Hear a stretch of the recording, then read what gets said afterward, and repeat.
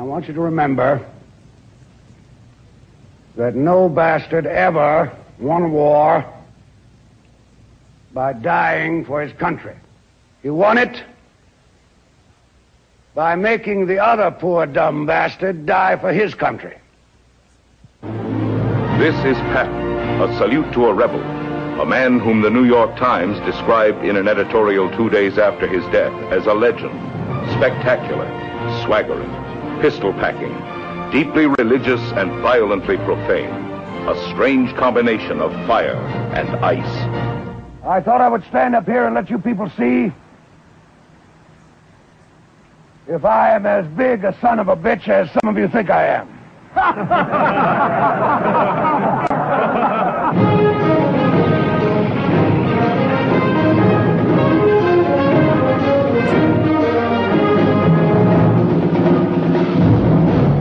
followed my plan, I'd be there by now. I'd cut off the retreat of every damn German that's hanging on this island. Are you telling me that I've got to slug it out over those mountains with heavy resistance just so you can make a bigger splash than Monty? About 15 minutes, we're going to start turning these boys into fanatics. They'll lose their fear of the Germans. And I hope to God they never lose their fear of me. Commence firing.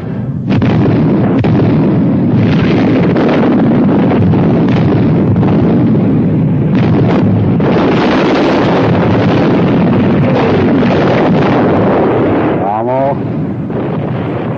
You magnificent bastard, I read your book!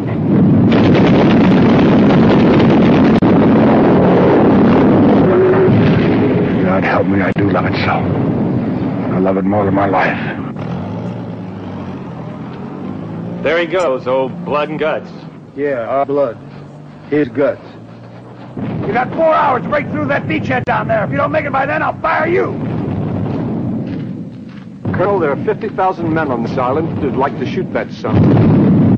Almighty Father, we humbly beseech thee, hearken to us as soldiers who call upon thee. It's my nerves, sir. Well, hell, you're just a damn coward.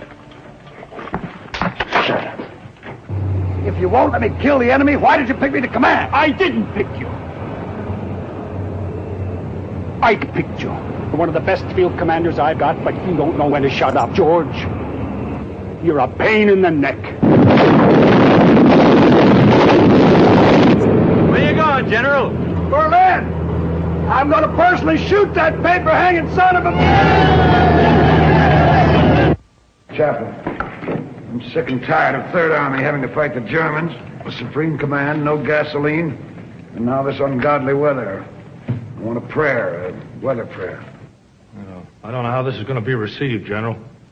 Praying for good weather so we can kill our fellow man. Well, I can assure you, sir, because of my intimate relations with the Almighty, if you write a good prayer, we'll have good weather. God, I'm proud of these men.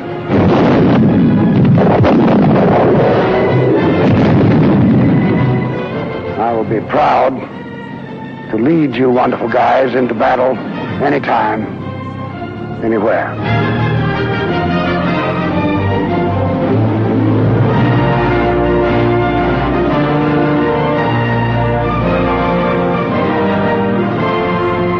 All right, now you sons of bitches, you know how I feel. That's all.